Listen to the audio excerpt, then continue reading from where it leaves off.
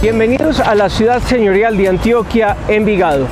Hoy desde su parque principal, nombrado Marceliano Vélez Barreneche, hablaremos sobre la principal fiesta que concentra a los habitantes de esta ciudad y que hace parte de su identidad y de su folclore. Durante los primeros años de la década de los 50, acá en la ciudad señorial, su sociedad de mejoras públicas decidió comenzar la preparación y organización de las primeras fiestas del carriel del municipio de Envigado.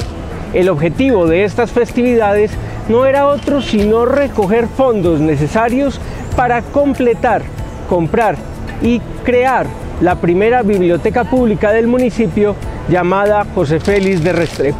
Usualmente la Semana de la Cultura y las fiestas del Carriel se celebran en torno al Día Clásico del municipio, 14 de julio, que es la fecha que se tiene oficialmente como punto de inicio de la ciudad señorial.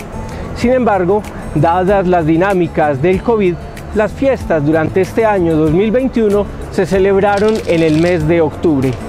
Fueron un gran éxito y no solamente albergamos población que nos visitó de municipios vecinos, sino que toda la comunidad envigadeña pudo participar de estas fiestas, de sus representaciones culturales y de sus eventos y logística que estuvieron siempre al servicio de la comunidad envigadeña.